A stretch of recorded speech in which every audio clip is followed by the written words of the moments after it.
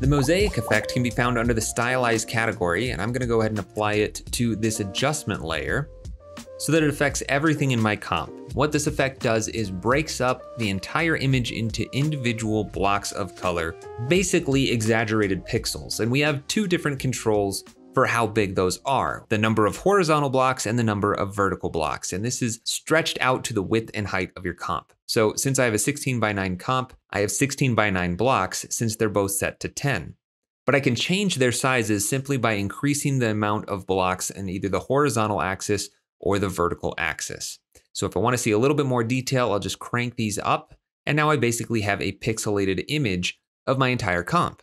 And if I increase this to 1920 blocks horizontally and 1080 blocks vertically, then I don't see any pixelation at all because that is the number of pixel blocks there actually are in the width and height of my comp. Now that I'm here, I could say divide each of these by 10, just take off the zero off of each of them, and now my pixels are 10 times as large. And if I want them even to be another factor of 10, I could say divided by 10 and divided by 10, and they'll again be 10 times larger. Let me undo back to this state. I kind of liked this 10 times pixelization. And the only other control we have is this checkbox for sharp colors. So if I check that, it's just going to add a lot more contrast to all of those pixels rather than trying to flatten the colors out and smooth them all together a little bit more. So this can be a desirable effect if you're trying to go for that crunchy pixelated 8-bit look.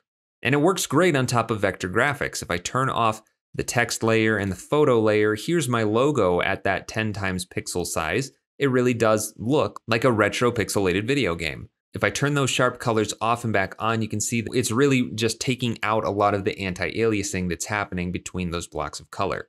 Now, if you wanted to keep these square without having to do a bunch of math, we could have After Effects do that math for us just by using a few simple expressions. So I want to drive the vertical blocks based on the horizontal blocks property. So I'll double click on one of those to bring it up down here in the timeline. I just need to know the relationship between these two values. And I don't even have to think about this because I can go up to my composition, composition settings, and look right here.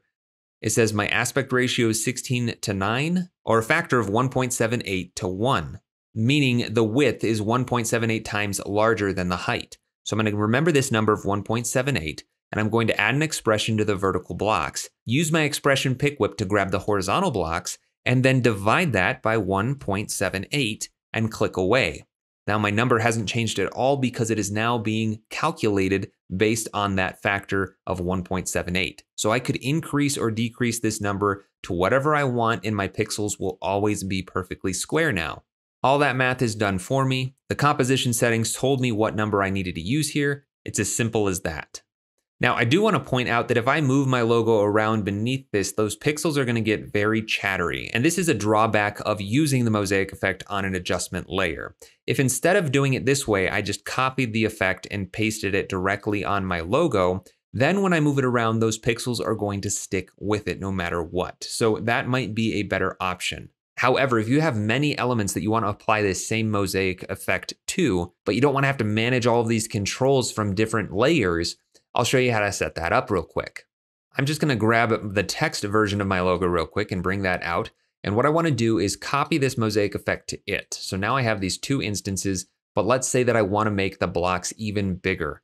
Well, I'm just going to make a new null object by going up to Layer, New, Null Object, and I'm going to rename this Controls. And then I'll paste the mosaic effect on top of that as well. I'm going to change the label color to cyan just so we can see that there it is. A null object doesn't do anything on its own, but I'm going to use it as a way to manage this effect on multiple layers.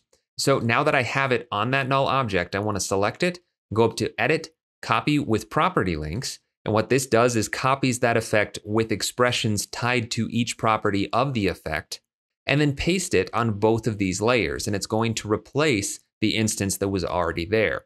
Now both numbers have expressions on them, as well as the sharp colors property, and they're all just pointed at the controls instance of Mosaic.